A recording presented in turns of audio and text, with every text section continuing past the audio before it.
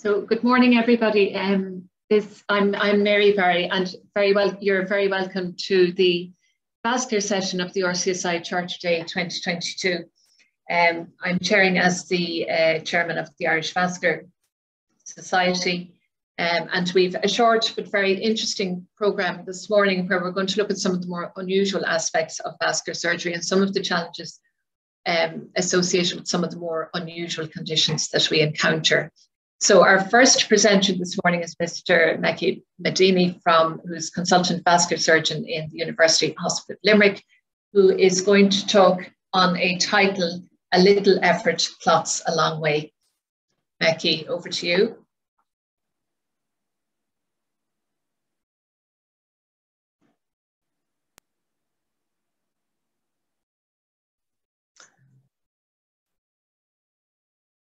Good morning, everybody. Um, thank you, Mary, and thank you for the opportunity to present. My name is Mekki Medani. I'm a vascular surgeon at University Hospital Limerick, and um, I'll be talking today about venous uh, thoracic outlet syndrome. Um, so we're just going to start with a little bit of history, talk about definition, epidemiology, etiology, and go through the anatomy a little bit, history and presentation, and uh, just a couple of cases. So um, it really started around 150 AD, where Galen was the first to describe the cervical rib. He was a Greek anatomist and court physician to Marcus Aurelius at a time where uh, human dissection was completely forbidden.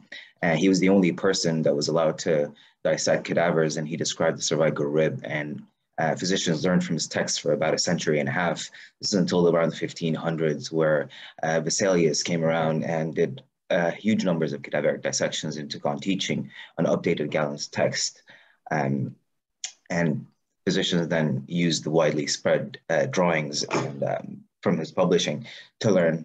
Um, up until 1818, a more familiar name, Sir Astley Cooper, who uh, did some seminal work with inguinal hernias and was renowned vascular surgeon.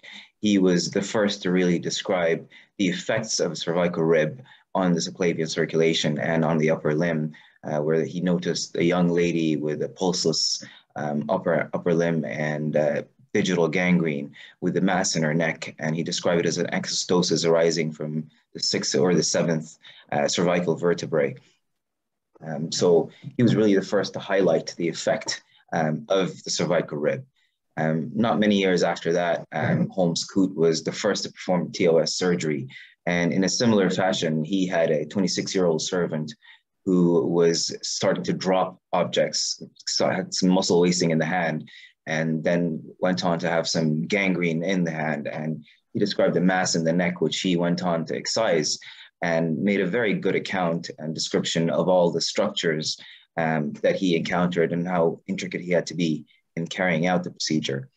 Um, the first venous TOS was described uh, really contemporaneously by both um, James Paget and Leopold von Schrötter. Um, James Paget was a was a British um, pathologist, and he's one of the two founders of pathology with German Rudolf Virchow. They really introduced the use of the microscope in uh, human studies of infections and tumors. And uh, he described uh, effort thrombosis or venous TOS. And at the same time, uh, von Schrötter did that, but he didn't publish his work till a little bit later. And then a couple of guys from Mayo Clinic, uh, neurosurgeons, they were the first to do scalenectomy only for purely neurogenic TOS.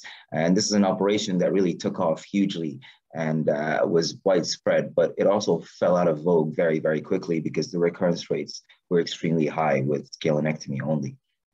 So thoracic outlet syndrome is really a constellation of symptoms uh, that describe the effects of the compression that happens in that uh, thoracic inlet or outlet, if you will, of the neurovascular bundle.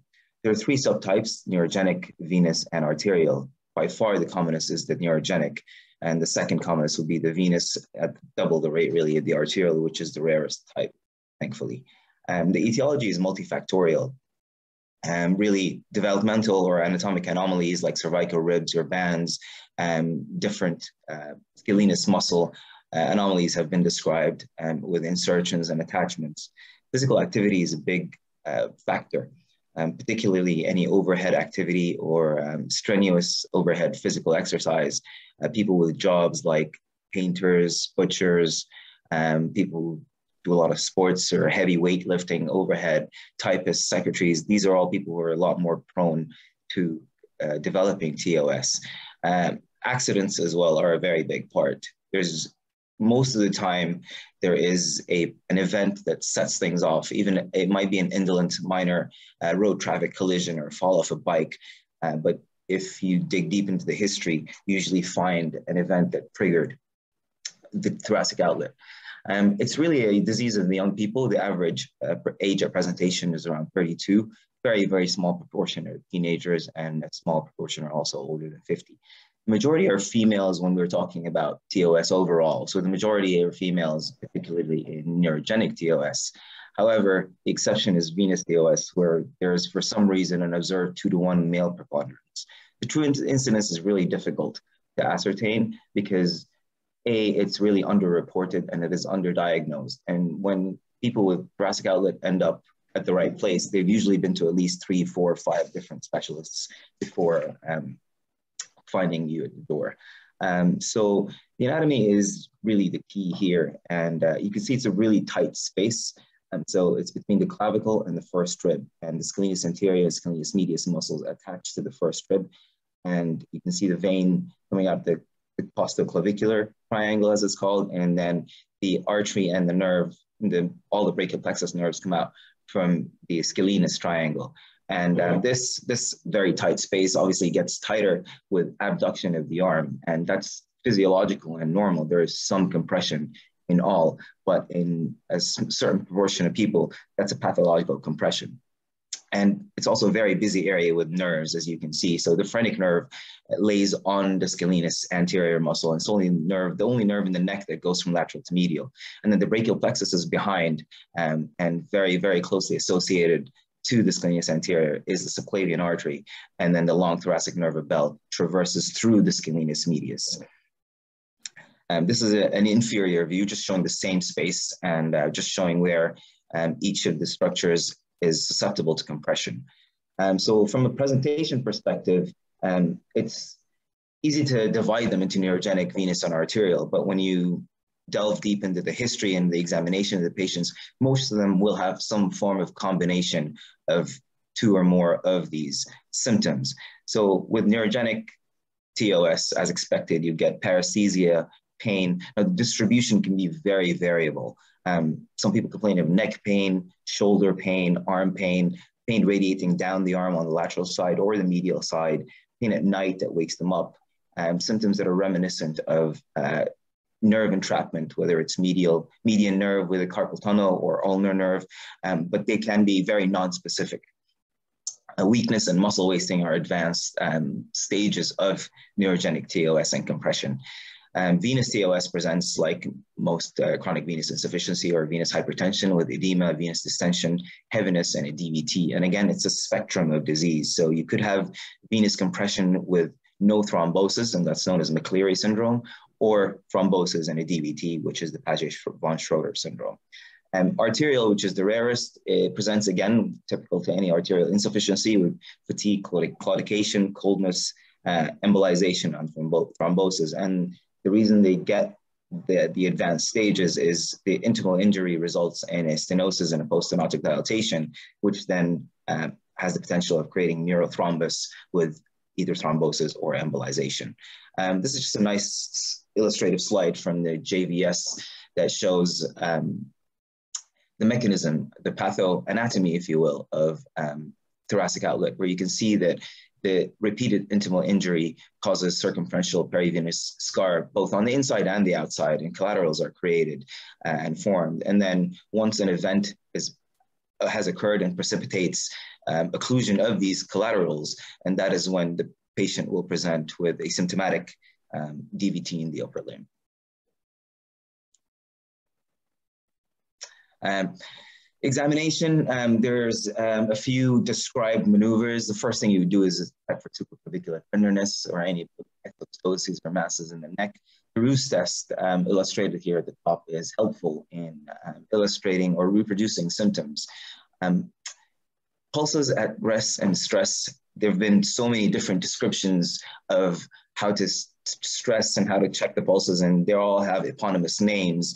Um, they're really they're helpful to ascertain who gets reprodu reproduction of symptoms, but they're not very uh, specific tests because there's a large a percentage of the population that will have a disappearing pulse with no symptoms, and these are really are not really thoracic outlet. And moving on to imaging, chest X-rays are helpful in looking at cervical ribs, uh, but really they, there can be um, cervical bands that are missed by chest X-rays. But it is always a good starting point. Duplexes are uh, pivotal because not only do they look at the dynamic flow within the vessel and can examine the vessel from the inside, but the stress maneuvers that we carry out when doing the duplex. So I personally created a, a protocol with the vascular lab and uh, it's not really available. You can't find proper protocols for scanning TOSs. And thankfully, uh, during my fellowship, I picked up on that. And uh, there's, they're scanned in four different positions and you can see complete changes from normal at rest to complete cessation of flow with some of the stress positions. And that's extremely helpful in a diagnosis. Um, axial imaging is usually MR or CT, and that's both arterial and venous phases. And invasive um, imaging is usually saved for intervention. Um, the treatment will obviously depend on the presentation and the acuity of it, whether you see them in the clinic with chronic symptoms or they come in acutely with arterial or venous when you have to treat um, with lysis possibly. And decompression is always considered in, in um, symptomatic patients, not so much for purely neurogenic, because the mainstay of treatment is physiotherapy really for purely neurogenic, but there is some uh, benefit to, to about 50 to 60% of patients get benefit. So it's not, not a huge amount. Uh, venoplasty and stenting is also an option once decompression is um, carried out. So I'm just going to go through a couple of cases um, first case that we that these cases have all been carried out since about back in the last year and a half. So first case is a 21 year old left-handed PhD student who presented with sudden onset of left upper limb pain, heaviness, swelling, fatigue, and venous distension.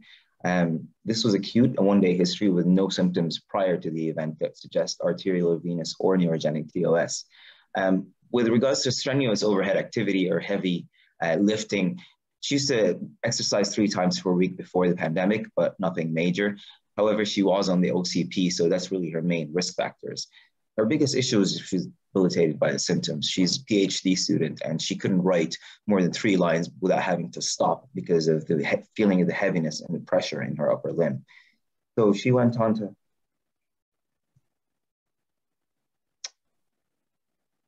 um, her, her physical exam was consistent with that with swollen upper limb and dilated shoulder veins. Um, so her duplex here, as you can see, you can see that the subclavian artery is patent, widely open, but the vein is thrombosed with fresh clot and no flow in the vein at all. And on the right of your screen, you'll probably see the MR image and you can see the arterial um, phase of it with no issues. You can see the venous return here on the right side, but no venous return at all on the left. Again, consistent with an acute um, DVT of the upper limb. So she went on to have uh, venography, which um, we did with our um, IR colleagues. The wire went through very easily. You can see the occlusion and you can see the collaterals that are formed, suggesting this is probably not an acute problem, but rather an acute on chronic problem. Um, we did a couple runs of angiojet and you can see the result was clearly suboptimal. We angioplastied with a high pressure venous balloon and repeat angiojet.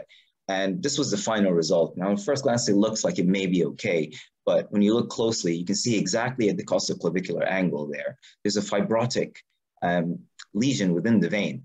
And that's not really amenable to angioplasty or to uh, lysis. So we figured that there's no point leaving a lysis catheter overnight because that's not an acute thrombus and it's not going to go away. Um, we angioplastied it again, but as you can see, it still remains. The only positive thing was that the collaterals were actually significantly reduced at the end of the procedure.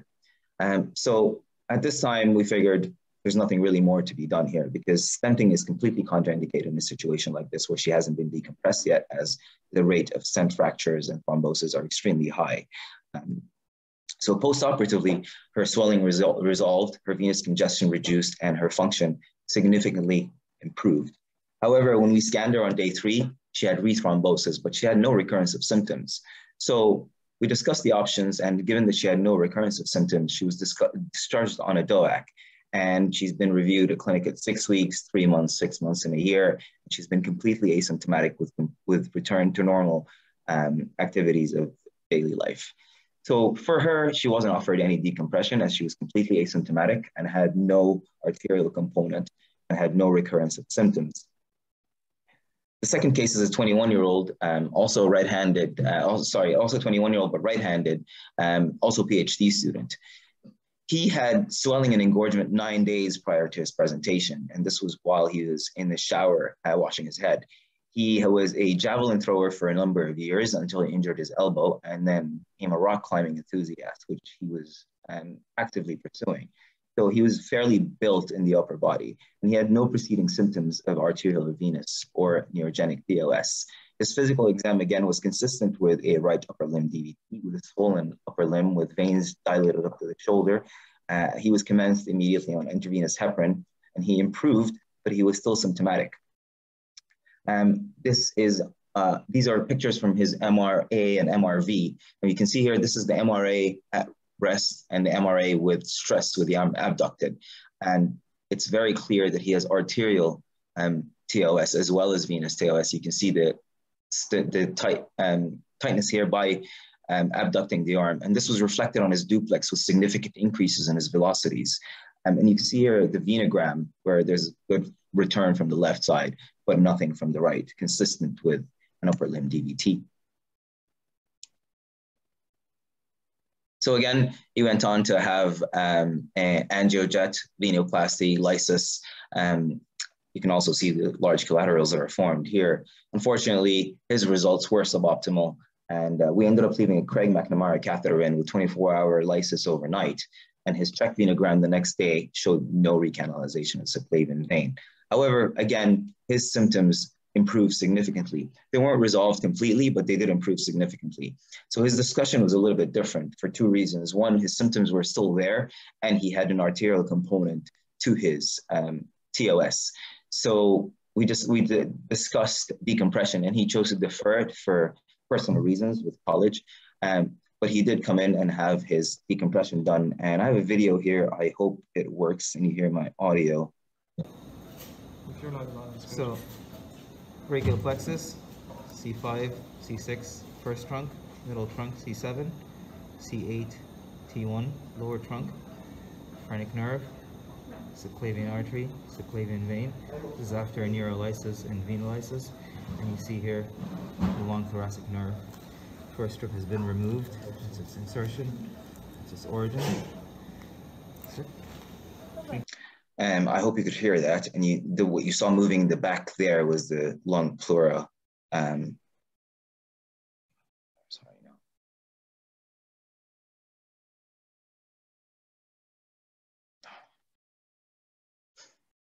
Sorry about that. Technical difficulties here.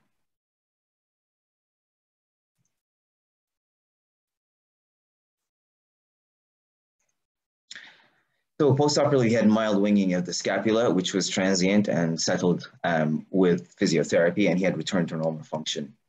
And um, thankfully, uh, I saw him about three months ago, and um, his right subclavian vein has recanalized completely. You can see here from the duplex that um, it's opened up again.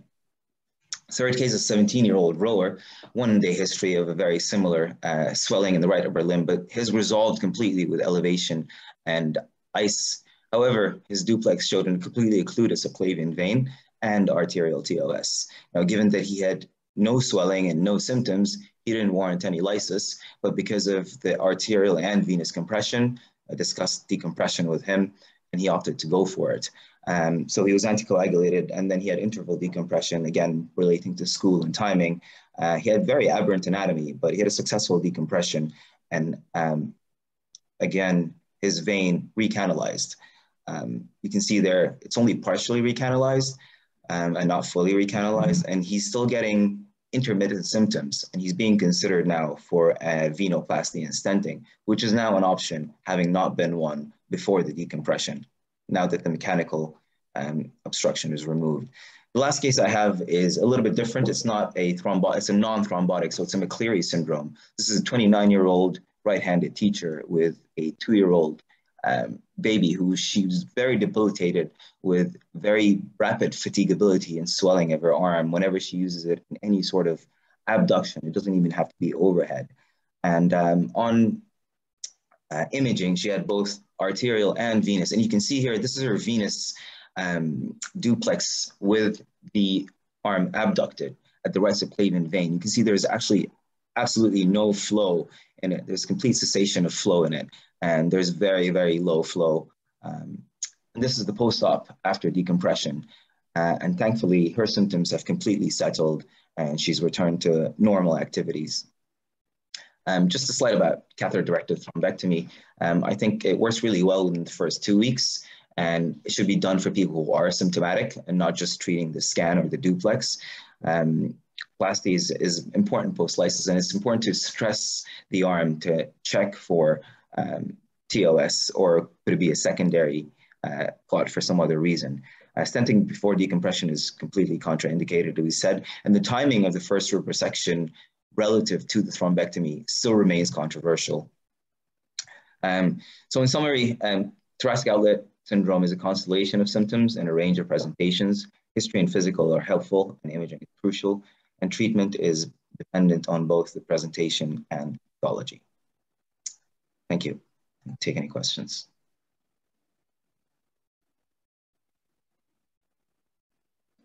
So, Mekki, Thank you very much, Mekki, for a superb presentation, and particularly for the illustrative cases. Um, so we're just running a little short on time. We've, we've a couple of minutes for questions. Um, I understand the questions have to be submitted through the, the live Q&A. Um, so if anyone has any questions, they might just uh, use the Q&A function.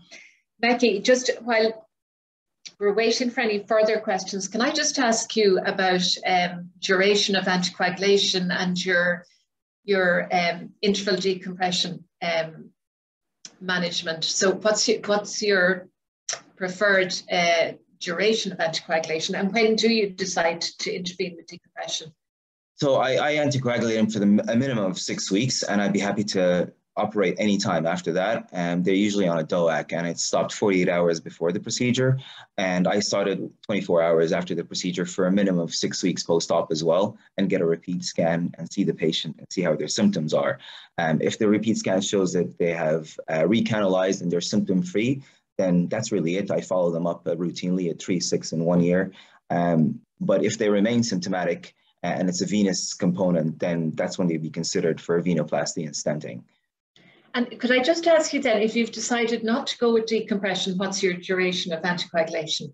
If you so, decide I mean, to it, go with, say, venoplasty initially, um, without decompression and good symptomatic relief, how, how long do you um, anticoagulate for? So that's a really difficult question because I, I would recommend that if somebody had a, a clot and it symptoms did re get resolved with um, with the anticoagulation because of the vein recanalizing, then they should have their surgery because they have a higher risk of that vein occluding again. The first lady I discussed, her vein didn't recanalize, but she remained asymptomatic and she had no arterial component. Hence, she didn't get the de decompression. But if the vein recanalizes, then I would suspect that the risk of recurrence would be much higher, and I would recommend decompression. Otherwise, if they don't want decompression, then the anticoagulation will probably be lifelong. But if, if they're decompressed and recanalized, then I discontinue their anticoagulation. Okay, now I have two quick questions here. First question is from Professor Simon Cross. In case one, have you recommended uh, stopping the oral contraceptive pill indefinitely? Yeah, yes. So we've been uh, we've been looked at. She's been looked after in conjunction with my hematology colleagues, and they have changed around her contraception to a lower risk one. They've advised her to not go on the um, one that she was on before. Now, and the second question just came in from um, uh, Prakash. I'll, I'll read this. I'll just read it out to you. A lot is talked about doing various procedures, but could I put it to you that TOS surgery should be done with one procedure, first rib resection, or is that not what you think? I, I couldn't agree more. I think, well, it's, it is a first rib resection. It's, it also involves a full scalenectomy of the middle anterior scalene, brachial plexus neurolysis, and adhesiolysis. But I think 100% I couldn't agree more because that's the one operation that can tackle all three subtypes of TOS as opposed to the other operations that are very limited in their scope. so, life. Mekki, we've, we've one minute left. Can I just ask you, have you done many arterial cases? No, I have not actually. Even out on fellowship, and the, the person that I worked with who does about three a week for the last nine or 10 years, um, I only came across one, and uh, it's, it's very rare, thankfully, because they're not easy cases at all. Yeah, they're not. Absolutely, they're a nightmare. So, yeah. Mekki, thank you very much for a superb presentation, and I look forward to referring you some of my more complex cases. Thank you. Thank you too, as do I. Thank you. So, all right. Moving on to our next speaker is um, Professor Eamon Molloy, my colleague here in St. Vincent's University Hospital. Um, and I'm delighted to welcome Eamon, who's going to talk to us about systemic vasculitis and its relevance to vascular surgery. Are you there, Eamon?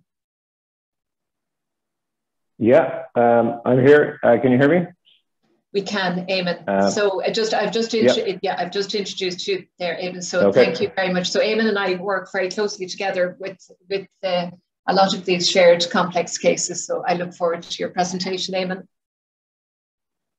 Okay, great. Uh, thanks, Mary, and thanks uh, very much for the for the opportunity. No, I, I just to, can't uh, see your. Speak. I can't um, see your um, okay. your slides, Eamon. Please, Miss Mary, can you stop sharing your screen so that uh, Mr. Oh, apologies. can go on? Am I Um, Stop screen I can see Sorry. it here, but can you see it now? No, I can't. Um, I need to stop.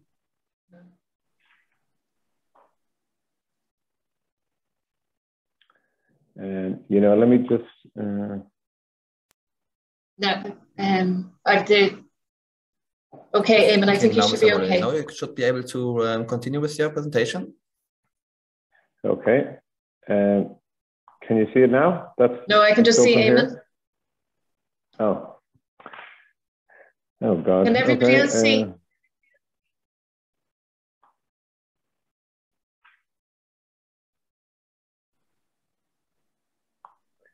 uh,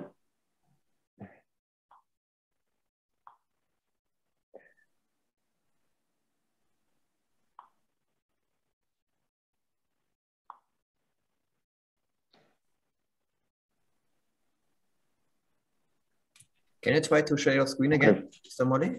Uh, yeah, I'm, I, it's it's telling me that I'm screen sharing and I can see the presentation in my screen, so I'm not quite sure what the what the problem is here. Um, yeah, it looks like nobody can see your slides, Eamon. Um, okay, uh, wait a sec. Let me just. Uh, um,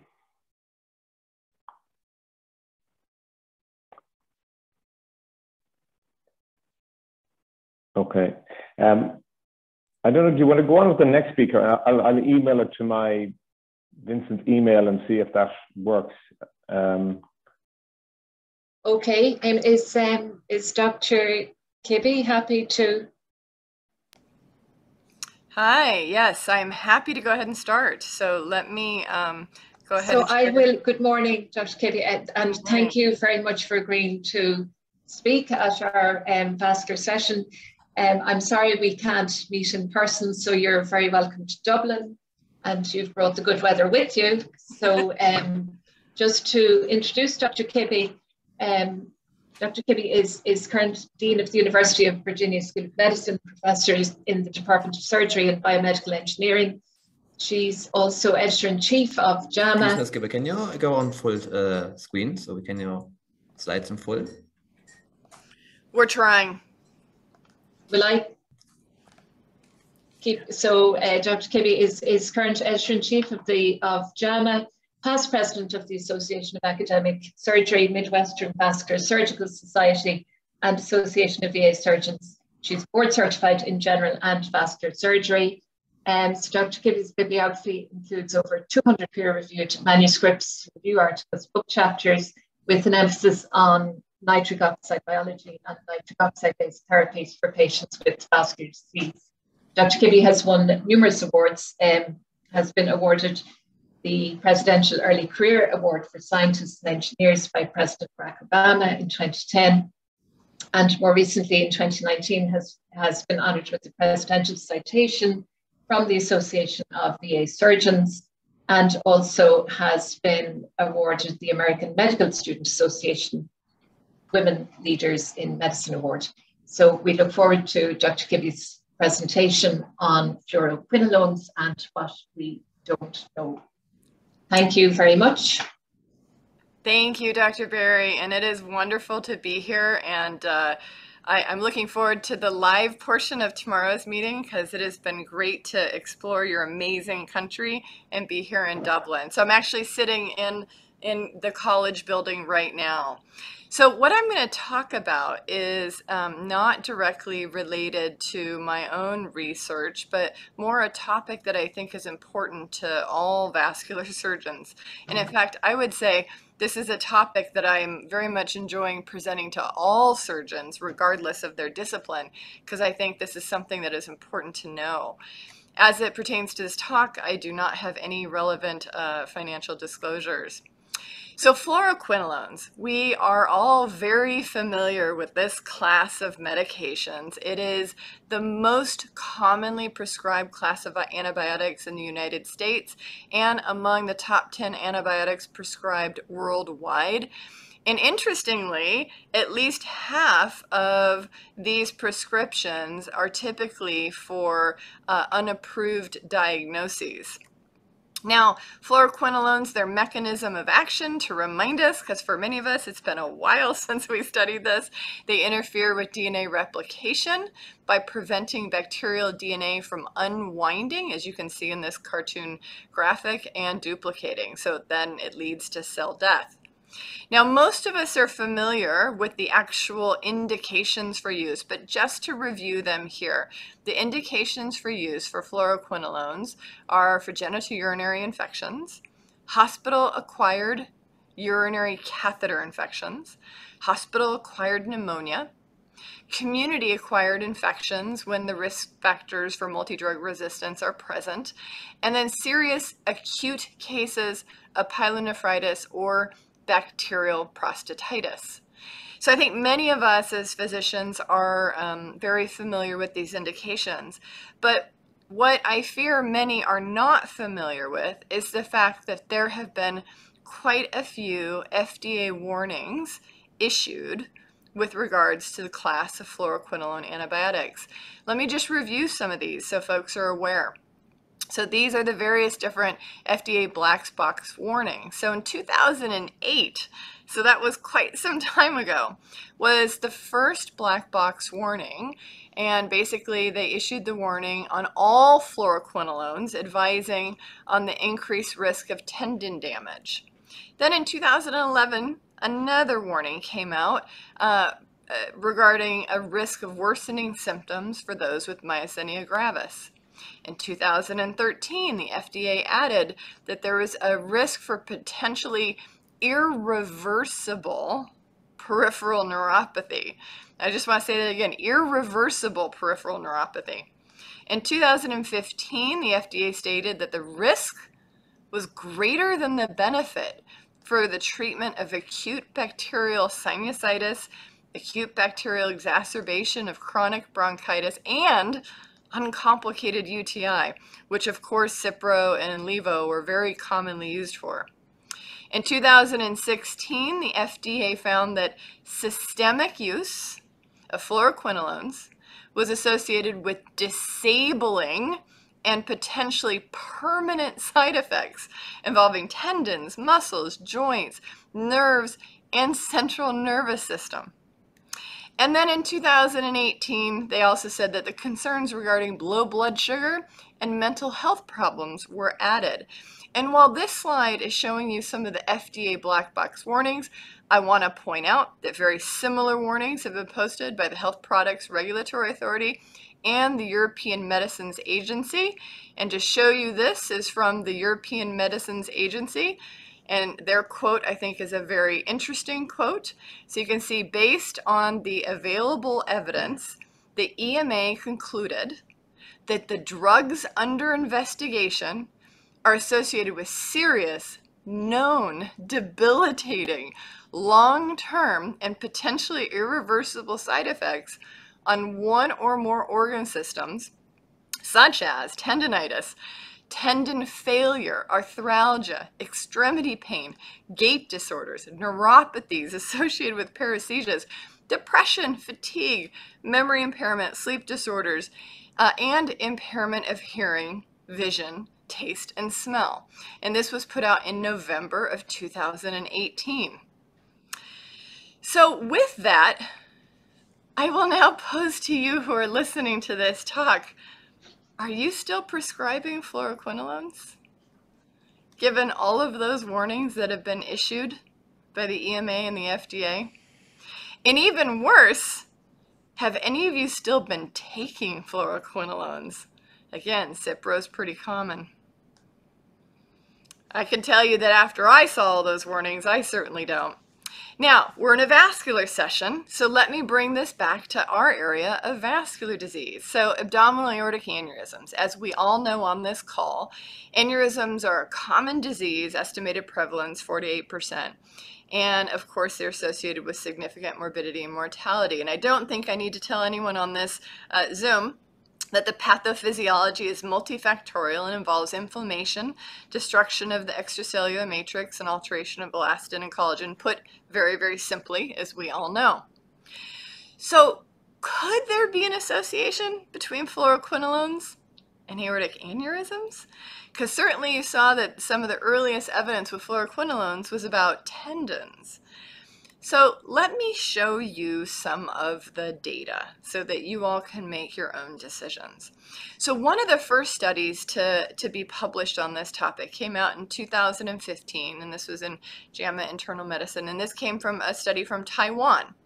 Now this was a nested case control analysis, involved almost 1,500 patients and almost 150,000 matched controls from the Taiwan National Health Database from the years that you see.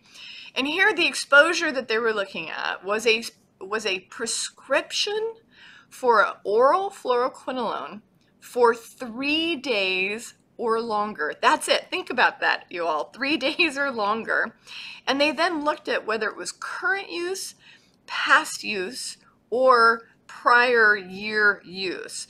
And the outcome they were looking for after just having this one prescription of fluoroquinolone was if you became hospitalized for an aortic aneurysm or dissection. So hospitalized, pretty severe extreme, I think we would all agree. So what did they find?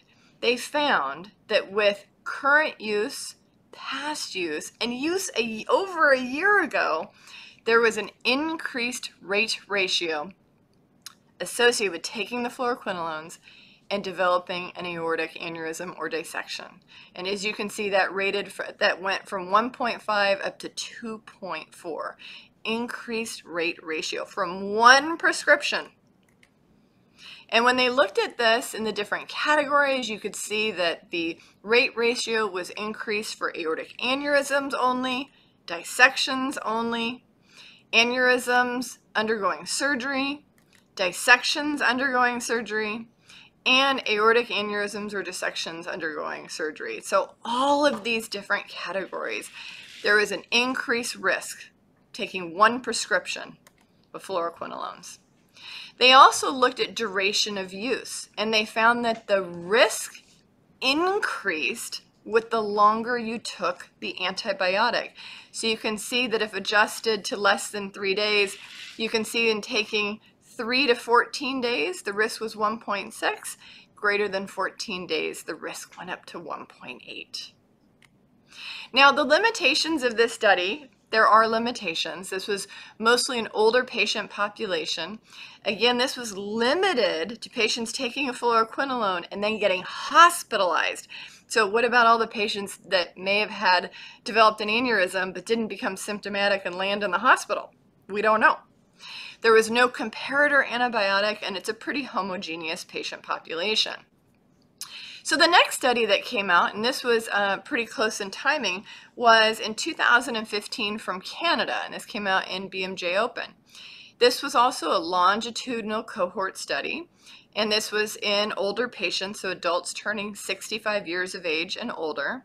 Same exposure, a fluoroquinolone prescription, and here they were looking at subsequent development a tendon rupture, retinal detachment, an aortic aneurysm that basically uh, landed the patient in the hospital or the ED within 30 days of the prescription. This I show just to show you how common they found when they looked at the cumulative percentage of patients exposed to at least one fluoroquinolone. You can see that by the time somebody reaches 80 years of age, about 40% of that population has been exposed to a fluoroquinolone. So again, just to show you how common this antibiotic class is. But what did they find? So they found that fluoroquinolone use was associated with an increased hazards risk of all of those different collagen associated adverse events tendon rupture, retinal detachment, and aortic aneurysm, as you can see there. When they then looked at the association of the fluoroquinolone prescription with the risk of aortic aneurysms, I found this to be very interesting because what they found is it did not matter what your comorbidity was. For example, whether you had diabetes or not, you still had an increased risk. Whether you had high blood pressure or not, whether you had renal disease or not, and you could see COPD, hypothyroidism. So really it was independent of the comorbidity. So I thought this was very important. Now this study also has limitations. It's an older patient group. It's limited to aneurysms, again, that are detected in the hospital or the emergency department. And there were new, no true comparator antibiotics for this. Now, the Swedish study came out several years later. So this was published in 2018 in BMJ, again, a national historic cohort study, this time with linked registered data from Sweden. The, the participants were individuals who had prescriptions fills for fluoroquinolone or amoxicillin. So here we have a comparator antibiotic for 50 years of age and older. And here their statistical analysis was more sophisticated. There was a propensity score matched analysis with a 120 day look back to exclude individuals who had taken antibiotics in the prior 120 days or were hospitalized in the prior 120 days. So a little bit of a cleaner analysis. Now they too, though, looked at first diagnosis of aneurysm or dissection uh, that landed them in the hospital or the ED within 60 days of the prescription. So what did they find? They had over, they started with almost 2.2 million individuals, and you can see on the fluoroquinolone side, about 1.3 million uh, episodes of fluoroquinolone prescriptions, and the amoxicillin was about a little over 800,000. And in the end, with the propensity score matched analysis, it's about 360,000 prescriptions in each arm. And here is what they found. So you can very clearly see that the cumulative incidence of aortic aneurysm or dissection within 60 days of that one prescription fill was higher with fluoroquinolones, and the hazards ratio was 1.6. And you can see here, it did not matter if you were male or female, and if you were 50 to 64 years of age or greater than 65. They all had an increased hazards risk of developing an aneurysm. This study too had limitations. Adults greater than 50, limited to aneurysms detected in the hospital or the ED.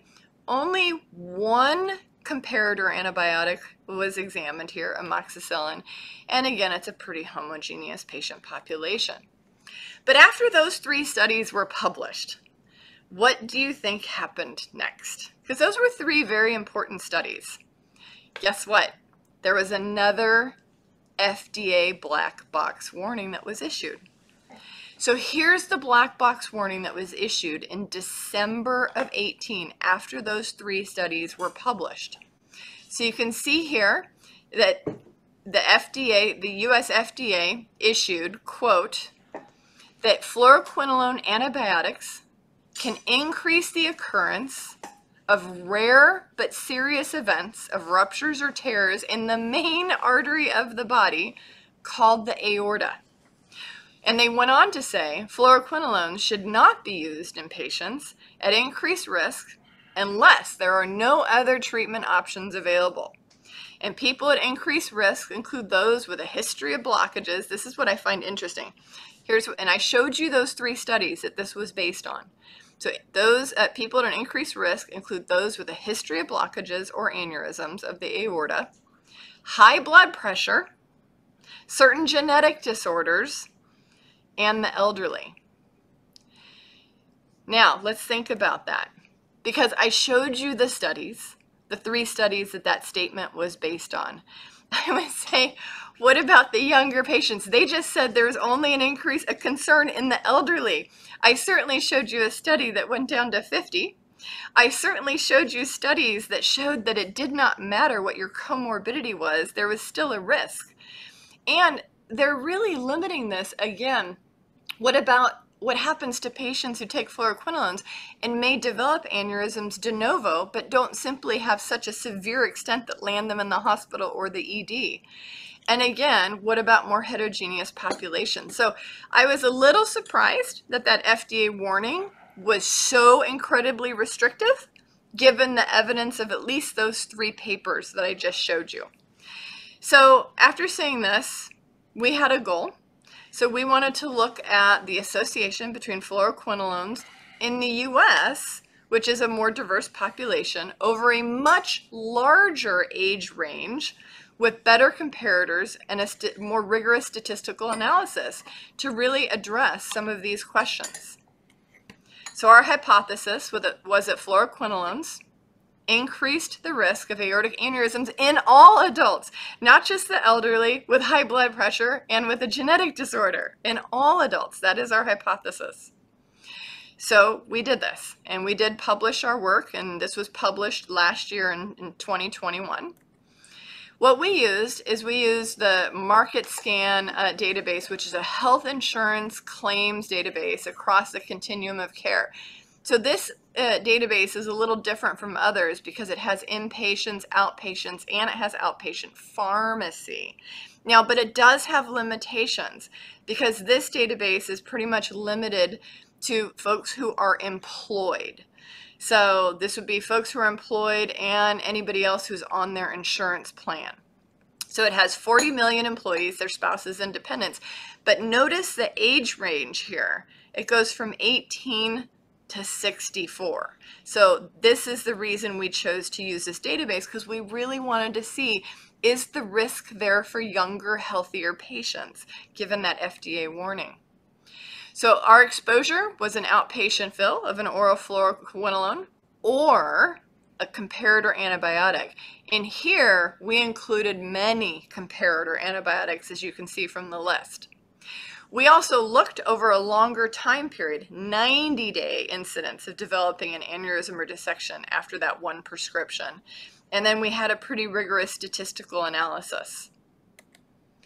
These again were all the different fluoroquinolones we included in the study, as well as all of the different comparator antibiotics in the control group that we included. So we started out with over almost 50 million uh, adults in this cohort. And after our exclusions, we ended up with 9 million fills of the fluoroquinolones and 38 million in the comparator group. What did we find?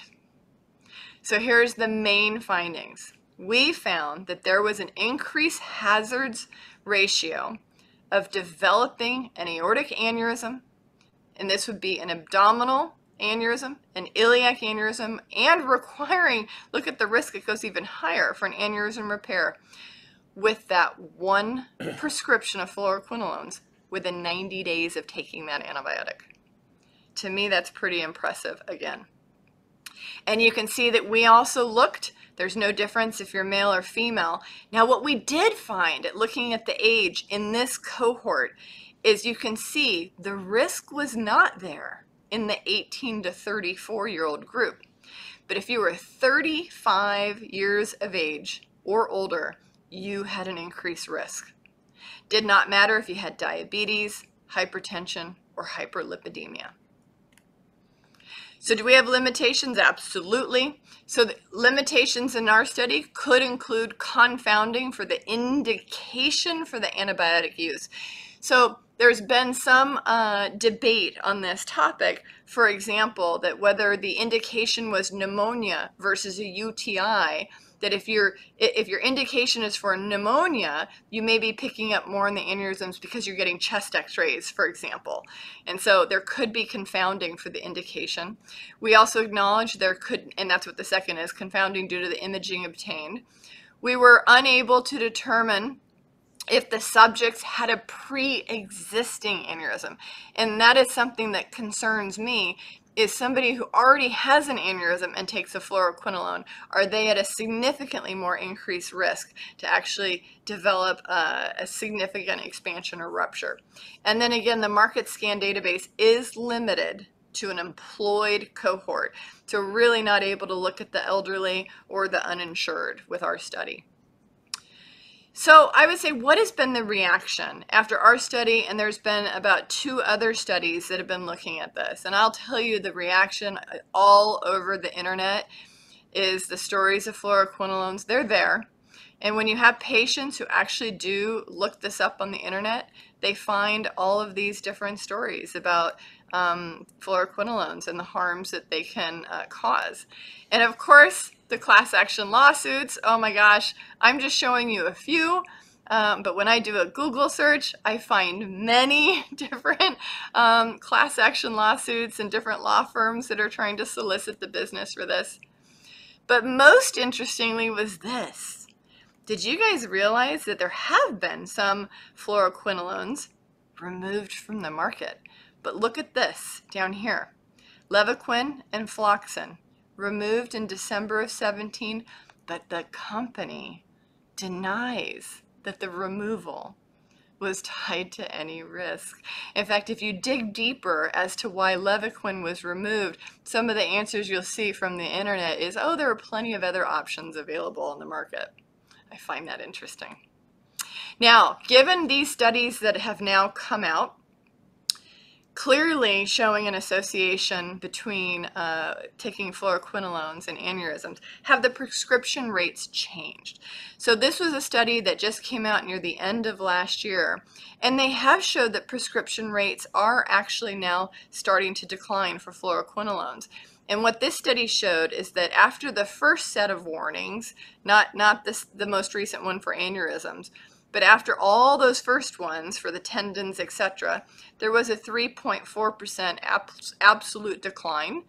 And then after that second warning related to the aneurysms, there's been an additional 0.8% decline in the prescriptions.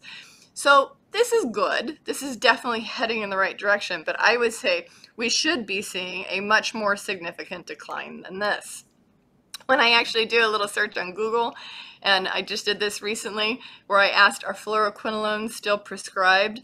I found this to be entertaining. It said the FDA has warned consumers about fluoroquinolones like Cipro and Levaquin for more than a decade, but they're still one of the most prescribed outpatient drugs in the United States.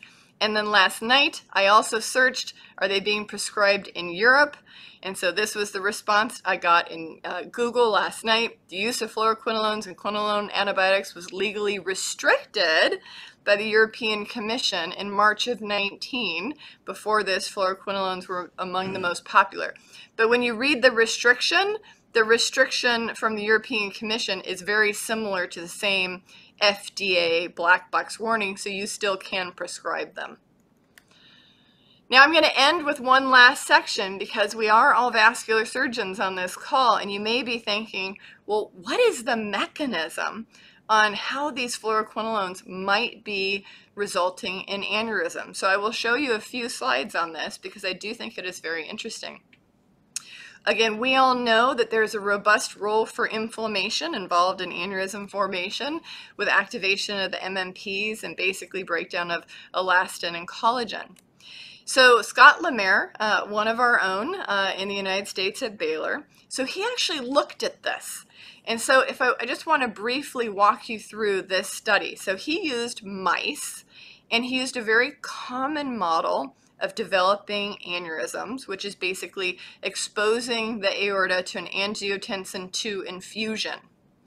And so what you can look at is challenged means the mice that got the angiotensin II. And then you can clearly see on the right hand side the mice that got the angiotensin II and the Cipro compared to the mice that got angiotensin II and saline. I think it is pretty obvious when you look at this picture that the mice taking the ciprofloxacin have pretty severe aneurysms of their aorta. Those look horrendous. And then looking between males and females, he saw that there was a similar development. Um, the light blue are the ones with the angiotensin II and the Cipro, compared to the dark blue, the teal, that got the saline. So you can appreciate again that in all of the animals that got the Cipro, the light blue, there are significant aneurysms, dilations, dissections, rupture. Now looking at the mechanism of action, he took it one step further and looked at a few things. And what you can see is looking in the right side of each graph. So this is the challenge, the ones that got the angiotensin II. You can appreciate that the ciprofloxacin led to increased elastin fiber degradation, a reduction in LOX, and LOX is what stabilizes our crosslinks, our elastin and our collagen. And then you can also see an increase, dramatically so, in MMP2 in, in MMP9 with the use of Cipro.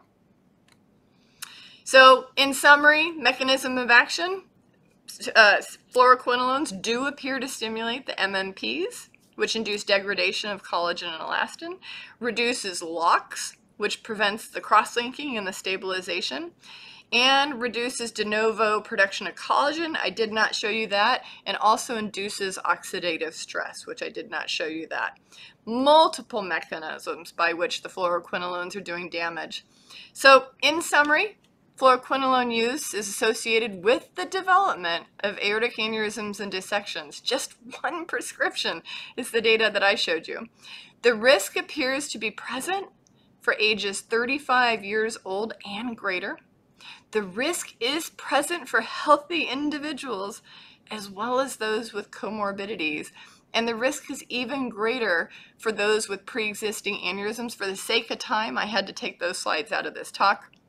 And then the mechanism does appear to be related to increased MMPs, reduced LOX, and increased oxidative stress. So I will conclude by saying, given all of the black box warnings issued by the FDA and the statements issued by the EMA for fluoroquinolones, and the most recent black box warning for the formation of aortic aneurysm dissections, I personally believe that this entire class of antibiotics should be removed from the market entirely, but it has not yet been removed. So I hope you will all remember this talk next time you were thinking about um, prescribing a fluoroquinolone, and I certainly that um, hope that all of you will think about this if anyone is going to try to prescribe you a fluoroquinolone to take. Thank you so much for the opportunity to present in this session.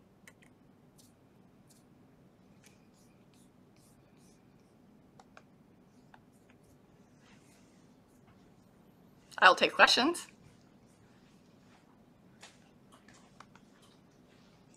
Let's see. I don't see any questions yet. Is Dr. Barry there?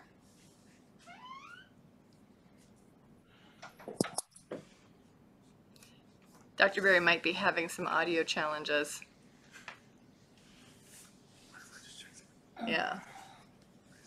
Professor Molloy, can you still hear me? I can hear you. Okay. Hopefully you got your slides okay. So do I. I'm gonna maybe I'll just try to get them up here while we're waiting.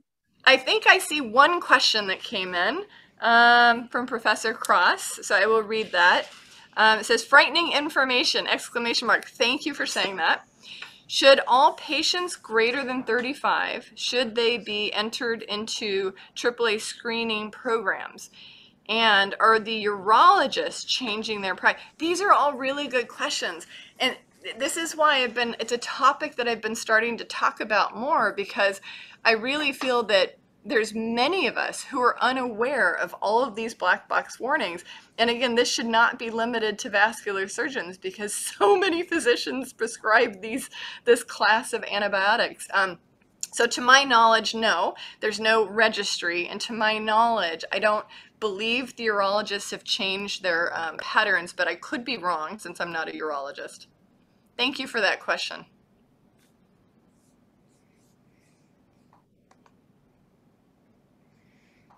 I think if that's it, oh, and I just got a visit from Dr. O'Connell over here.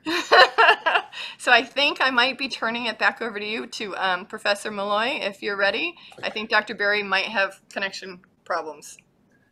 Okay, uh, can you see my slides there? Okay, great. Um, okay, well, I think I did get a brief intro earlier on from Mary, so I'll uh, just uh, get started uh, with the talk. Um, and uh, thanks again to Mary for the invite to, uh, to, to, speak to you today. Um, so um, just the overview really of, of, what I was going to try to cover briefly was when to suspect systemic vasculitis, how we diagnose it and, and, how we treat it, and just to, to um, emphasize the role of, of uh, vascular surgery. We're really going to spend the whole time talking about large vessel vasculitis, um, the, the, the diagnosis in terms of clinical presentation, imaging, uh, the, the, use of temporal artery ultrasound, as well as large vessel imaging techniques, and of course the role of the temporal artery biopsy. Uh, treatment, uh, corticosteroids, and just we'll briefly mention other immunosuppressants, and then the, the role for vascular intervention. Um, and uh, from the point of view of vascular surgery, obviously the, the diagnosis may very well um, fall to you in terms of the, these patients may present to the vascular clinic um, they may present with limb claudication in the setting of large vessel vasculitis, but obviously things like leg ulcers and digital gangrene may develop in patients with uh, small or medium uh, uh, vessel vasculitides. Uh, arterial biopsy and, and, vascular intervention, obviously the other key areas. Um, so this is the uh, revised nomenclature in 2012 for the different forms of vasculitis, and they're uh, divided roughly on the basis of the size of vessel involved, and we're really going to spend our time talking about the large vessel vasculitides, uh, Takayasu's, and, um, and, and giant cell arteritis, which are the primary types of large vessel. But it's important to point out that there are a number of other systemic disorders that can cause secondary large vessel vasculitis listed here, uh, as well as uh, uh, we need to consider a whole variety of other processes that might mimic a large vessel vasculitis and, and may be difficult to distinguish um, um, and these obviously include atherosclerotic uh, vascular disease, uh, which is much more common than vasculitis, but then a variety of other things like genetic disorders, fibromuscular dysplasia, etc., that, that are uh, uncommon also. Um, so uh, one uh, slight area of controversy is in, term, in, terms of the nomenclature of large vessel vasculitis, and uh, the original ACR criteria in 1990 set out that you um, uh, uh, if you developed large vessel vasculitis over the age of 50, that you had giant cell arteritis, and under the age of 40, uh, you had Takayasu's. Uh, fortunately, for some of us, uh, you seem to be precluded from developing large vessel vasculitis in your 40s. That anomaly was rectified in the um, more recent nomenclature, where the cutoff was 50. But it seems a little bit odd that you, if you develop it at 49, um, you've Takayasu's, and at 51, you've got giant cell arteritis. And really, this uh, uh, a significant um, school of thought that maybe these are the same disease that they just look a little bit different at, at the at different ends of the age spectrum because there are a lot of similarities um, and maybe the differences that are there might be explained on the basis of vascular aging immunosenescence and, and ethnicity etc and um, so, so while that theory is there, um, they, they, do continue to be considered distinct entities pending evidence of shared causality. But for much of the talk, I'm going to talk about large vessel vasculitis, which really encompasses both of these uh, primary forms. Um, the diagnosis of vasculitis is, uh, to uh, belabor the point, is, is really like putting the pieces of the jigsaw together. A careful history and physical exam are essential. Blood tests may provide some assistance urine test more of use in the small to medium vessel vascular disease. And then imaging um, uh, is particularly important uh, as well as uh, biopsy. So uh, if we turn to giant cell arteritis, uh, for many years, the diagnosis rested on the identification of a clinical uh, or compatible clinical picture. You can see the very enlarged and engorged temporal artery there, which is likely to be pulseless and tender to touch. Um, and then the temporal artery biopsy on the bottom left there with the, the giant cells and the transmural inflammation in, in the temporal artery wall. Uh, however, we do have a number of uh, newer modalities which uh, can be of uh, benefit, um, temporal artery ultrasound, as well as the large vessel um, imaging techniques uh, shown here, the CT angio and, and, the PET scan. When we think about the clinical presentation of giant cell arteritis, um, obviously it's most famous for causing uh, cranial vessel involvement, and that obviously led to the uh, terminology uh, referring to it as temporal arteritis. Uh, but in fact, large vessel vasculitis is really present uh, to a greater or lesser extent in nearly all of these patients. In addition, sometimes patients can present with a constitutional syndrome without any cranial uh, involvement um, at all. And we need to consider the diagnosis of giant cell arteritis in these settings. And just in a very general sense, the symptoms uh, of large vessel vasculitis may relate to the systemic inflammation, the typical constitutional symptoms of fever, weight loss, myalgias, arthralgias, fatigue, etc. Arterial inflammation may give rise to headache and scalp tenderness over the temporal artery, thoracic pain, uh, or carotidynia. And then arterial compromise can obviously cause limb claudication, abdominal angina, uh, vessel dissection or aneurysm, uh, coronary uh, and uh, artery uh, involvement with angina or heart failure, lightheadedness, and uh, TIA or CVA. But the other key point is that asymptomatic disease progression can occur, and that's what's important for us to bear in mind when we when we're imaging patients. Um, just in terms of cranial vessel involvement, really, um, the um, this just lists the the um, the, the positive and negative likelihood ratio for each of these different uh, features. But the bottom line really is that uh, absence of cranial manifestation certainly does not exclude the diagnosis of, of giant cell arteritis. Um, what about blood tests? Well, um, obviously, we may see evidence of inflammation with elevated ESR, CRP, anemia, elevated platelet count in patients with large vessel vasculitis. But this is not just in the setting of vasculitis. Uh, we, there obviously uh, can be seen in the setting of infection, cancer, and other disease processes. It's also really important to note that a small percentage of patients, maybe as much as uh, maybe as many as 10%, will have normal or near normal uh, inflammatory markers. And paradoxically, these patients are more likely to develop vision loss or stroke, um, and obviously may also have a delay in diagnosis. Um, antibody tests for, for diagnosis of other forms of systemic autoimmune disease really are, are negative by definition, uh, but can have a role in excluding alternative diagnoses. But the key point is that there's no lab test that can prove or disprove the diagnosis. In the setting of Takayasu's, there may be an even higher proportion of patients that have normal ESR and CRP. So what about temporal artery biopsy then? So um, there are some pros and cons in terms of there's a false negative rate uh, with maybe 15 to 25% in randomized clinical trials, but probably even higher in general practice um, and um, uh, operator uh, dependent. Um, there are pros, however, in terms of the really, it's probably the most objective evidence of the diagnosis of giant cell arteritis, and it may rarely show evidence of other forms of vasculitis, other vasculitides that can also cause temporal arteritis. Uh, complications are rare. Um, there is recent data from the Mayo Clinic which would suggest that the temporal artery biopsy can be positive in many cases up to 12 months after initiation of steroids. So um, the, the, guidelines uh, typically do um, uh, recommend uh, performing a temporal artery biopsy in patients with suspected um, uh, GCA. Um, so potential pitfalls, um, obviously there, there may be skip lesions and a variable level of, in, of inflammation throughout the, the same vessel. Um, but this can be overcome by uh, a, an experienced pathologist examining the slides and uh, also obtaining multiple sections uh, through the sample. Um, the other potential pitfalls would be too short of a segment of, of the, uh, the temporal artery, which should be at least two centimeters, and um, over enthusiastic stripping of periarterial tissue, which may uh, reduce the, the yield also. And obviously, this is less likely to occur in the hands of an experienced surgeon. So what about temporal artery ultrasound? And uh, the, there are proponents of this, and the, there's a lot of um, different differing opinions. Um, certainly, the the overall studies would suggest that um, that the the temporal artery ultrasound is useful. This halo sign uh, can uh, uh, seems to be a surrogate for vessel wall inflammation or edema, um, and that it performs pretty well as compared to a temporal artery biopsy.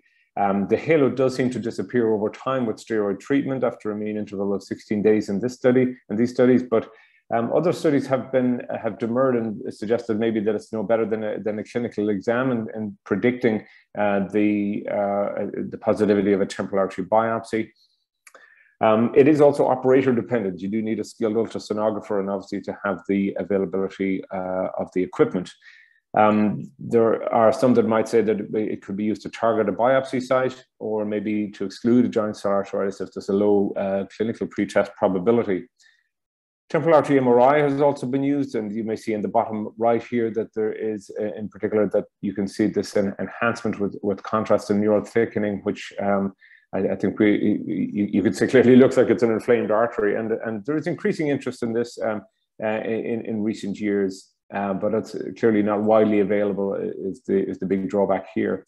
So just to summarize then, the temporal artery biopsy is felt to be the preferred test for confirmation of the diagnosis, but a negative biopsy certainly does not exclude GCA.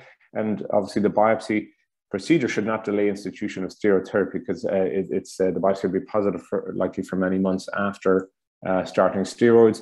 Temporal artery ultrasound may well be confirmatory in, in high probability cases um, and uh, may uh, be uh, able to rule out GCA in, in, in low probability cases. Uh, the role of temporal artery MRI, I think, in routine practice is, is yet to be uh, defined.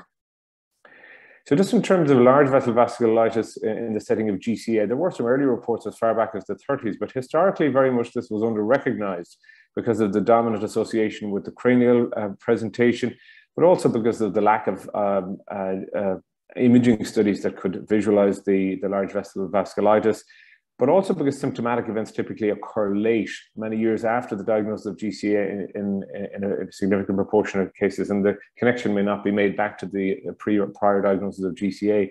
Um, they may well have been discharged from the follow up in the rheumatology clinic at that time. So um, the large vessel involvement is overt and up to 25% with aneurysms, occlusions affecting the aorta and any of the major branch vessels, but carotid and the subclavian arteries, uh, as well as the thoracic aorta, are the most frequently involved. And clearly, this is the, the main source of increased mortality in patients with GCA. There is some data to suggest there may be subclinical large vessel vasculitis in, in all patients. And this is going back to a study in the early 1970s, uh, where uh, this was a very dedicated um, uh, Scandinavian uh, pathologist, and she actually sectioned the, um, the vascular tree all the way from the origin of the aorta all the way down to the elbows and knees every two centimeters. And um, this was the slide of the 13 GCA and one Takayasu patient uh, that she had studied. Uh, in bold are the areas of active vasculitis. And at one quick glance at the slide, you'll see that every single patient had evidence of large vessel, active large vessel vasculitis. And this is all the more sobering when we uh, re realize that, in fact, um, this, uh, 10 of these patients had been treated for up to seven years uh, with uh, steroids. So uh, the complications then of large vessel vasculitis, obviously there's a risk of stroke with the cervical artery involvement, uh, limb claudication, predominantly upper limb, but it, it, certainly can be seen in the lower limbs, and aortic aneurysm and dissection. Um, this thoracic aortic aneurysm rupture um, typically occurs late. So you can see 33 out of 41 cases here from the Mayo Clinic presented at a median of seven years after the diagnosis of cranial giant cell arteritis. And um, this is from Mayo Clinic also. They, their uh, odds ratio in a population based cohort study was 17 fold increased risk of, of thoracic aortic aneurysms, with a, just a slight increase in abdominal aortic aneurysms in the GCA patients as compared to controls. Um, so really with all patients with suspected giant cell arteritis should be examined at least by history and physical examination for the possibility of large vessel vasculitis. And certainly if there's any symptoms or signs uh, uh, relevant, then we, then we should get an imaging study of the aorta and the major branch vessels. So in terms of the features we're looking for in clinical assessment, obviously any kind of limb claudication, but reduction in pulses or blood pressure asymmetry or a murmur or bruit over the blood vessel, blood vessel and uh, particularly the axillary bruits can be uh, uh, a pointer in uh, patients with GCA. So how good is this clinical exam in predicting uh, the presence of arteriographic lesions? And uh, this study um, did a, had a prospective a standardized physical exam and angiography and uh, looking at all of the exam findings in combination, at least 30% of arteriographic lesions were missed. So the presence of um, a finding on, uh, on exam is highly predictive of a, the presence of an arterial lesions, uh, arterial lesion, but the absence of a physical exam finding certainly doesn't exclude uh, an arterial lesion. And so serial angiographic uh, assessment is advisable in patients with large vessel vasculitis uh, to monitor for, for involvement. So how would we do that? So the historical gold standard here was obviously a catheter-directed angio, and it does have some uh, advantages that remain pertinent uh, today in, in, terms of getting an accurate central aortic blood pressure or permitting vascular intervention. But the downsides in terms of only visualizing the lumen, not the vessel wall, and also the exposure to radiation, contrast, and the invasive nature of the procedure have all led to it falling uh, away uh, in terms of its use as compared to some of the newer modalities, for example, MR angiography, which has, does have the advantage of seeing not just the lumen in, uh, in terms of the, the stenotic or aneurysmal lesions, but also the vessel wall abnormalities in terms of thickening or enhancement. Uh, and it also has the advantage of being non-invasive and not associated with any radiation. Downsides do include uh, the cost and availability uh, of it and some uncertainty in terms of the uh, in, in interpretation of the increased signal or thickening in the vessel wall over serial imaging um, and uh, also the exposure to gadolinium in, in patients with renal failure. Um, there are some patients that obviously can't undergo an MR uh, because of claustrophobia or implantable devices. Um, however, uh, CT angio is an alternative in these patients, and it does have the avail uh, availability advantage. It is generally very well tolerated, and it can visualize the structural uh, abnormalities as well as taking an enhancement in the vessel wall, although that seems to regress very quickly after starting steroid. Calcification can also be uh, documented on CT, um, which points toward atheroma. Um, the downsides obviously include the radiation, the contrast toxicity, and again, there's a question mark in terms of the relevance of persistent uh, thickening seen on serial imaging. Ultrasound is uh, useful uh, for uh, some arteries, for example, the axillary arteries, uh, and is obviously well tolerated. Again, there's no radiation or contrast imaging, uh, contrast exposure. Um, but the downsides, obviously, again, it's operator dependent uh, and it may not be available in your center. And the big drawback really is the inability to visualize the thoracic aorta. So PET scanning is probably um, one of the major advances um, in, in, recent years in imaging large vessels, um, and uh, certainly the, the, vascular FDG uptake uh, can, in a concentric fashion, can point strongly toward the diagnosis of large vessel vasculitis. It's obviously non-invasive and can visualize the whole body, and it may also rule out other diagnoses, for example, certain malignancies um, that um, uh, might be in the differential for patients, for example, with um, uh, elevated ESR fevers, etc. Um, abnormal uh, PET uptake um, at baseline does predict the later development of aortic dilatation. The downside is you uh, look for structural lesions, and uh, the, again, the interpretation of low-grade uptake over time um, is uncertain. Um, and is isotope and radiation exposure and cost and availability is probably one of the biggest barriers. So um, unfortunately, as you, as you, can see in the slide, there are at least as many questions as there are modalities um, and, and, further work remains to be done in terms of if modality. This is a new approach using new PET ligands and there's a, a lot of interest in this area. Um, there's also a, PET, a hybrid PET MRI technique that um, looks uh, very promising and has a, a, significant reduction in the radiation exposure as compared to PET CT. But again, further study is, is needed here. Um, so for diagnosis, um, the imaging is part of the evaluation for patients with suspected Takayasu's, but really, it, it, uh, as I've alluded to, it should probably be considered as part of the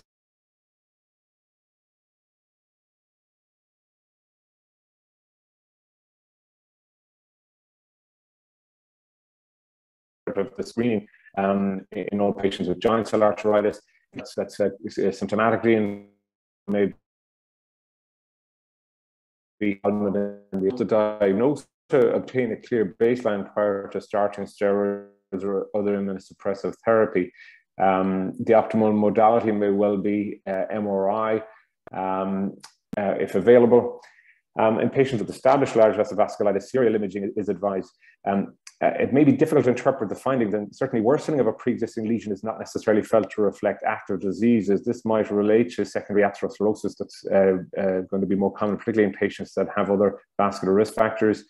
Um, a new lesion in a previously unaffected vascular territory is felt to be the most uh, clear-cut uh, finding that would support uh, the, the diagnosis of a relapse. And the optimal modality, again, is most likely MRI uh, if available. the interval is certainly not clear, but in patients with Takayasu's, typically they'll be imaged on a 6 to 12 monthly basis. Um, the, the downside from the Takayasu's point of view is that the inflammatory markers really aren't that reliable in terms of uh, diagnosing relapse. Um, and even if they're elevated, we do need to consider other things like infections, which are more common in patients with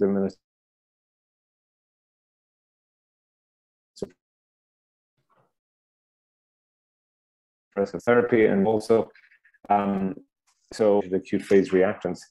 Um, so um, I think I've kind of mentioned these really, but uh, but I guess the key point is that only a new lesion in a previously unaffected vascular territory should be considered as evidence of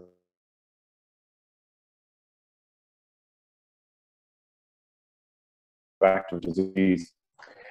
Um, so um, this was a certain extent made for determining disease activity, um, but uh, the sobering finding is that 51% uh, of patients that were felt to be in clinical remission had evidence of active disease on PET and, and MR angio. Histology is rarely available in patients with large vessel vasculitis, and uh, surgery is uh, generally undertaken in periods of remission. Any bypass procedure will be into a normal appearing vessel segment, but nevertheless, approximately half of surgical speci specimens will show evidence of, of active uh, vasculitis, um, which uh, does obviously raise questions over the efficacy of our treatments in terms of eradicating vascular inflammation. So just to, to move on then to the treatment, so steroids obviously are the mainstay of treatment and commence immediately once the diagnosis is suspected. We don't wait around for the temporal artery biopsy. And um, uh, before I move on to the bad stuff, just to mention that there are some benefits of glucocorticoids in terms of symptomatic improvement uh, and reduced risk of vision loss, although they cannot reverse established vision loss. And then uh, they normalize the ESR and CRP, so keep the doctor happy. Um, however, there are many drawbacks to the, to the use of steroids. Um, these are just an abbreviated list of the side effects of steroids.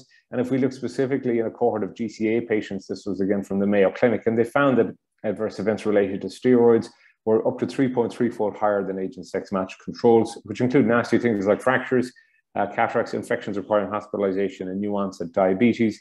This is the isotope bone scan from a patient of mine who developed six simultaneous vertebral fractures uh, despite a starting dose of steroids of only 30 milligrams of prednisolone for her GCA. So uh, the initial treatment of large vessel vasculitis involves steroids, and then lots of other tablets that we tend to prescribe to counteract the, the side effects of steroids. Uh, um, so at least we can console ourselves with the fact that they work, maybe not. So if we look at retrospective studies and in particular in prospective studies, a, there are very high relapse rates in patients treated with steroids. And, and we, when we think a little about the pathophysiology uh, of GCA, we can understand that because steroids will block this Th17 pathway, but not this Th1 pathway. So that's this is why we, we see persistent inflammation on delayed biopsy and autopsy, as I've alluded to earlier, and why we see frequent relapses and late complications in patients with GCA. We do have other immunosuppressive agents that we use, uh, for example, methotrexate, tocilizumab, ustekinumab, and abatacept uh, most frequently, and we do sometimes consider other treatments than aspirins and, and uh, aspirin and statins.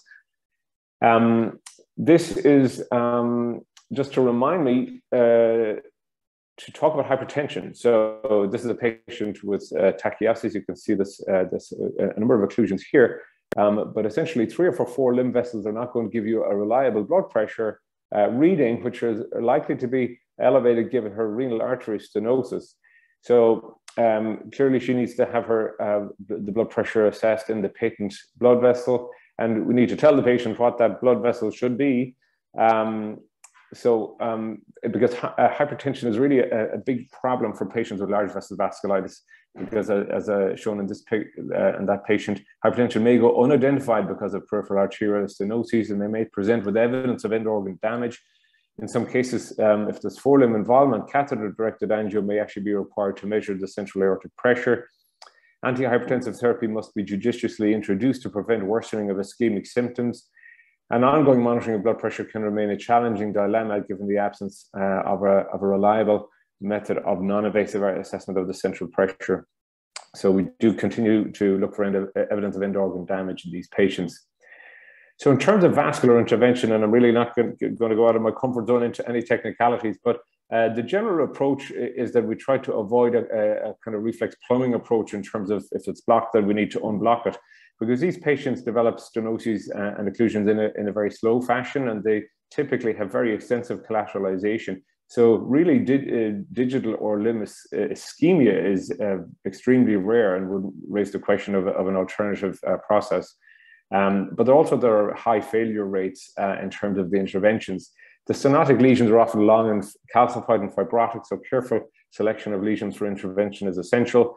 The suboptimal outcomes um, uh, really uh, uh, relate to the high restenosis rates up to 60%. Um, particularly uh, the, uh, high, it, it, seems that stenting as compared to balloon angioplasty in the renal arteries, uh, less of a differential in terms of other arterial beds. Um, but also, if the patient is in drug-free remission, there seems to be 100% long-term patency in, in, this study versus 33% who had a procedure performed in, in the setting of active disease. Post-procedural immunosuppression may reduce the risk of restenosis.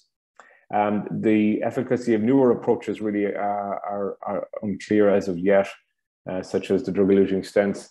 Uh, in terms of the, the aortic root reconstruction, vascular bypass grafts, or other uh, surgical interventions, again, really um, the the uh, feeling is that a, vascular bypass is optimally from the aortic root uh, because there's a high likelihood, 90% uh, uh, for involvement of, for example, the subclavian arteries um, with the disease process over time. And obviously, if that becomes included, you may lose any, any bypass from that vessel. Um, the again, the interventions are best performed during periods of disease remission uh, overall, uh, there's a, a five-year complication rate uh, of 44%. Um, but in, in this, uh, this was a French study, there was a seven-fold increased risk of failure if there was evidence of inflammation. So again, really harking back to the importance of good disease control before um, and uh, during and after any, any vascular intervention. This was a study for uh, a recent study from Australia where they looked at a, a, their national surgical registry, a prospective study between 04 and 2018 they had uh, 41 of over a thousand uh, temporal, or, uh, sorry, thoracic aortic uh, repairs, surgeries um, uh, that had uh, vasculitis. Um, and these aortitis patients were more likely to be female, older, and hypertensive patients, but surgical outcomes and mortality were comparable. And it didn't appear that perioperative steroids or immunosuppressive therapy worsened the outcomes from the, from the procedure. Um, so with that, um, we'll stop and thank you for, for your attention. Uh, and I'm very happy to uh, answer any questions.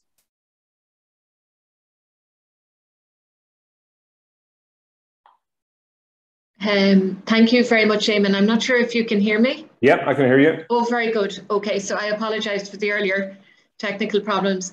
Now, unfortunately, I now don't have access to the live Q&A, so if anyone has questions, perhaps they could, um, somebody could uh, let me know. I don't know if you've access to them, Eamon. Um, yeah, let me just. Uh...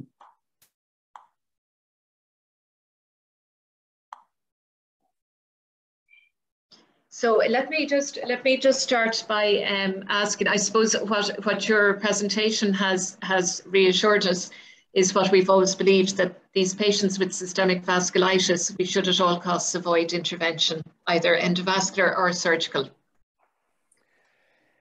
Um, well, I, I, I, think certainly uh, being judicious about it um, and uh, you know realizing that the collateralization may minimize the, the symptoms, for example, in terms of claudication over time, um, and that we try to optimize their immunosuppressive therapy and potentially other things like aspirin or statins, etc., to uh, to minimize uh, the, the the progression of the, the vascular lesion. Um, I mean, I think procedures, you know, certainly can be done. I, I think just that that to the fullest extent possible that we um, that, that we ensure that their disease uh, is well controlled, and it, as it as it certainly appears that that that will uh, uh, increase the likelihood of a of a better outcome from the from the procedure. Um, okay, and in terms, if you are absolutely forced, in terms of if if if you have a patient with breast pain or tissue loss um, are there any any um, are there any steps you can take to, to mitigate the, the risk of complications, or what are the expected complications? Is it false aneurysm formation or early restenosis? Yeah, I, I, I, think I think all of the above. You know, depending on the procedure, and as you point out, sometimes you, you just have to go ahead and and uh, you know do it uh, if there's an acute uh, situation. Um, you know, I think that that um, considering uh, peri-operative um, steroids or immunosuppressive therapy uh, would be certainly worthwhile. It, you know, again, would require patient careful selection um, in that regard. Um, and you know, if there's a, for example, a very clearly inflamed vessel um, on, um, you know, PET scan, etc., um, th- then then that might very well be a consideration. Um, and certainly, if it's an endovascular procedure, uh, you know, the the risks associated with uh, uh, peri-procedural steroids or other or other immunosuppressive therapy would be would be pretty minimal. Um, the um, it also seems as if maintaining good immunosuppressive control of the of the inflammation in in the weeks and months after the procedure is important as well in terms of reducing the risk of restenosis. Okay. Um, so thank you very much, Eamon, and um, thank you also to Dr. Kibbe, and I apologise for losing my audio just at the end of your presentation. So I think we've, we've come to the end of our session for this morning. And it just remains for me to thank everybody for three excellent presentations, um, to Mr. Medani, Professor Molloy, and to Dr. Kibbe, particularly for taking the time to, um, to give us an excellent um, and very enlightening presentation that we won't forget in a hurry. Um, so just to say thank you again to everybody and enjoy the rest of your day. Thank you.